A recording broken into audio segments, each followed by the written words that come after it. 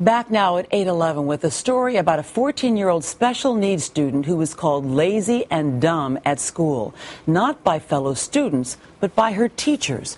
We'll talk to the teenager in just a moment, but first, NBC's John Yang has details, and we should warn you that some of what you're about to hear is troubling.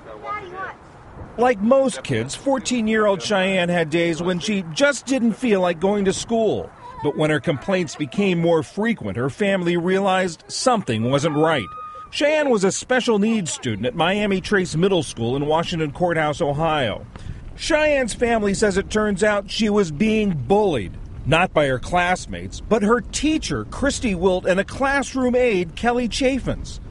When Cheyenne's family brought her complaints to the school, they were told she was lying. It wasn't until Cheyenne went to school with a hidden tape recorder that the family learned just how bad the situation was.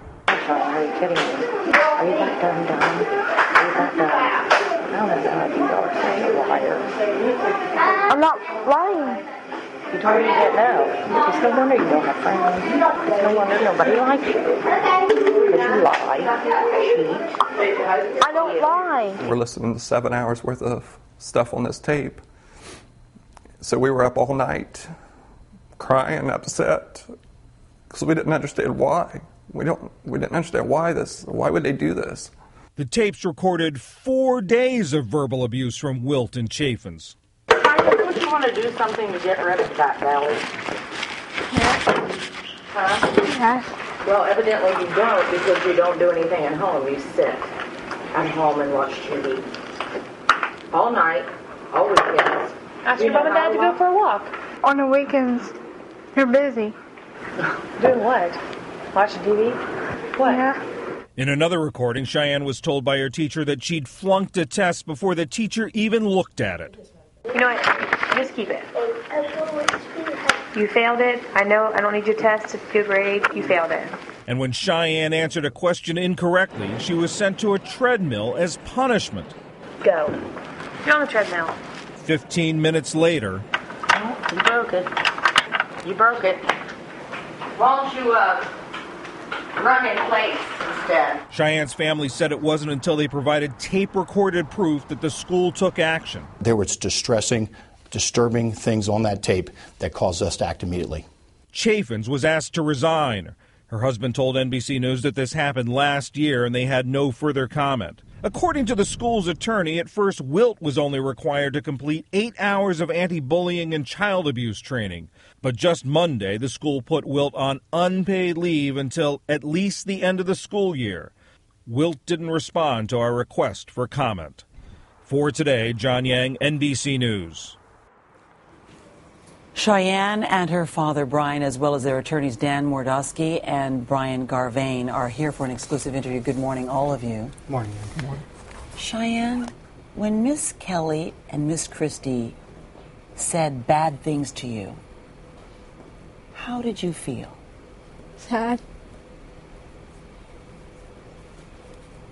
Brian, when you heard that tape, what was the first, that for the first time, what went through you? Just we were shocked. We we couldn't know. We didn't know. And she'd been in that classroom for two years with those two For same three people? years. Three years with those Four years with Miss Kelly. It started in the fifth grade with Miss Kelly, where she jerked her up by her shirt and she got out of line, and so we called the school, and you know, Miss Kelly wouldn't do that. We've known her for a long time. That's what we got out of this whole thing. They wouldn't do this. You're talking about the school district. Right, the school district.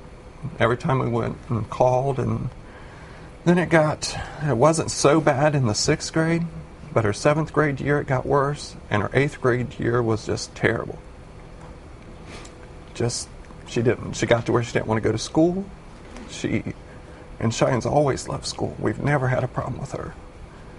And uh, she was doing things that, starting to harm herself to keep from going to school. So we knew we had to do something at that point. We weren't getting anywhere with the school. Every time we'd call, we didn't do that. She's making up stories. It was always Cheyenne's lying, Cheyenne's making up stories. She's taking parts of this story, parts of that story, and making her own story. So we went to the principal, same thing. You know, Cheyenne's making up stories. His investigation was talking to the prince or teacher. So we weren't getting anywhere, anywhere with them. I went to the superintendent. The first time I ever spoke with the man, he told us that we were bordering on slander and harassment. To let it go, and he would guarantee me the best education possible for our You daughter. wired your daughter. There was now, after you wired your daughter and you got this evidence, um, the school district did get rid of the assistant teacher. No? No, not right. Right. Not off. right away. Not right but they- away. but they did Uh, well, eventually. I guess I, we were just told that she had resigned, not that they asked her to resign. I see. Just that she resigned. I see. How? What would you describe as the damage? Do you know what the lingering damage is? We don't know. We don't know. Cheyenne right now is she's doing okay. She's trying to forget it. She knows that they did something bad to her, but we don't know years down the road what's going to happen. You are here in part because you want to warn other parents, but also you want more justice. What more justice can you have? You've already have filed a law, a civil suit. You've gotten a financial reward. What more legally can this family get? Well, and that's that's part of the, the the problem is that there's no good answer here. There's no good solution. Uh, but we don't think that the this teacher and this aide should be working with students, especially special needs students. So currently, this teacher can still work with students. What would you be requesting that her teaching certificate? You're talking about Christina Witt, the teacher Right. who oversaw the teacher's aide. Right. We, we would like her to be terminated, is what we would like. The school essentially has done nothing. The Ohio Department of Education conducted an investigation. I, we believe they suspended her license for a year, which has been stayed if she does some continuing education. Um, the school has just filed that lead. They haven't done anything in addition to that. So once she completes this continuing education, she's able to teach again. It's emotional for Christina to sit here and, and hear what we're all saying. What do you hope? What good do you hope, Brian? Well, I just hope that they do something with this teacher. She doesn't need to be around kids at all. She participated in it. She was right there.